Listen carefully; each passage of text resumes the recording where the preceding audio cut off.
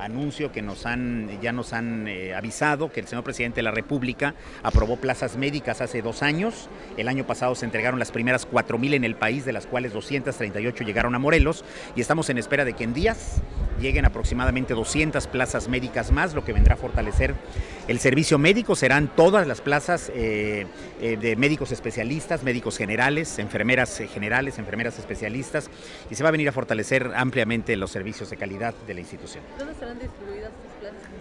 Aproximadamente la mitad, algo así, algún número cercano a los 100, estarán eh, en, el, en, el, Gran Hospital Centenario de la Revolución, con todo, todo nivel especialista, y las otras eh, serán en primer y segundo nivel de la delegación, que tendrá que ver con básicamente venir a fortalecer los servicios en los municipios. ¿Eran necesarias estas plazas? ¿Era más sí. la demanda? Yo no sí, eh, yo, el, el, ISTE se está fortaleciendo por la disposición del señor presidente de la República y del director general Reyes Baeza.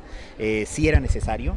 Eh, la demanda recurrente que ha sucedido y que se ha minorado en gran parte es que las, citas médicas son un poco largas a veces, eh, pero la llegada de los 238 médicos el año pasado, esto vino a minorar este problema y la llegada de los médicos a final de este año eh, sin duda viene prácticamente a resolverlo.